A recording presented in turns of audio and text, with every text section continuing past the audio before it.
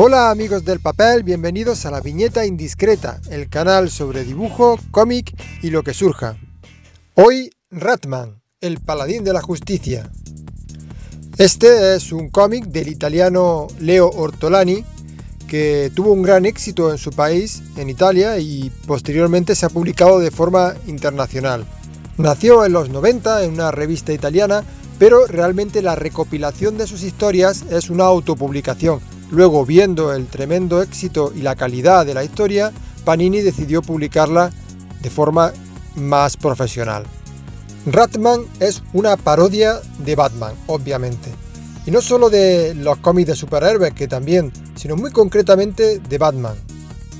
Sus poses, los personajes, los villanos, la ambientación, las sombras, incluso el origen eh, en el que pierde a sus padres en las rebajas de unos grandes almacenes.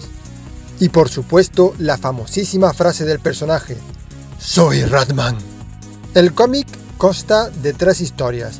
En la primera cuentan el origen de Ratman y el villano es el bufón, este personaje que obviamente es un trasunto del Joker, tan ridículo como Ratman y que bueno, que tampoco tiene mucha más miga.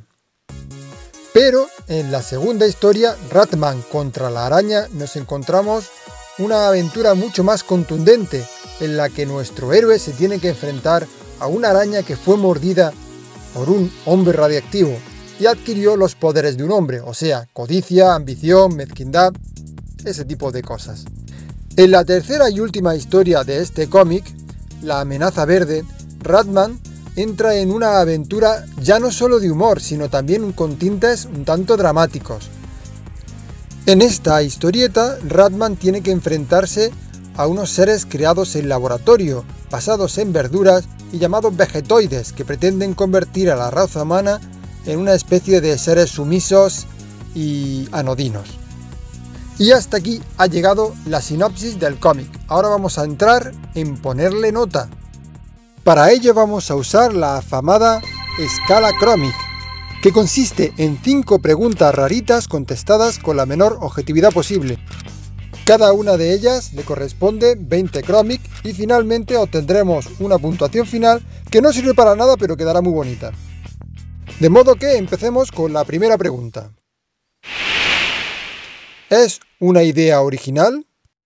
Y la respuesta es no. Si puedes encontrar varios personajes de seguido que hacen parodia de superhéroes, es que la temática no es especialmente original. Así que solo son 5 cómics.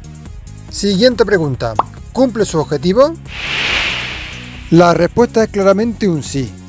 Su objetivo principal es hacer reír y en ese aspecto lo consigue plenamente tanto con chistes eh, elaborados durante la historia para el remate final, chistes inteligentes, eh, chistes casuales, incluso algún chiste bastante malo como el de la ardilla y las nueces, pero son los que menos. La obra es realmente divertida y en algunas veces pretende ser y también emocionante de aventuras y en algunos momentos también emotiva. Y la verdad es que en esos momentos también lo consigue. En algunos casos no tan contundentemente, pero yo creo que cumple perfectamente su objetivo. Por eso le vamos a dar una puntuación de 18 Chromics a la saca. Siguiente pregunta, ¿tiene estilo propio? Por supuesto que sí. Estos personajes con esa carita de mono, las cabezas bulbosas y por supuesto el entintado y el color especialmente bueno para un dibujo de, humor le, dan un aire totalmente especial y diferente. Le damos 17 Chromics. Siguiente pregunta. ¿Te mete o te saca de la historia? Esta pregunta tiene que ver con el guion. Y sí, te mete totalmente en la historia.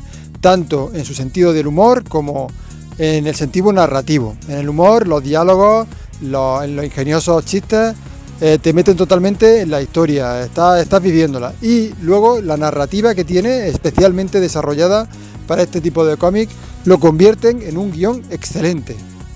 Así que no podemos darle menos de 18 cómics. Y última pregunta, ¿el dibujo ayuda o molesta?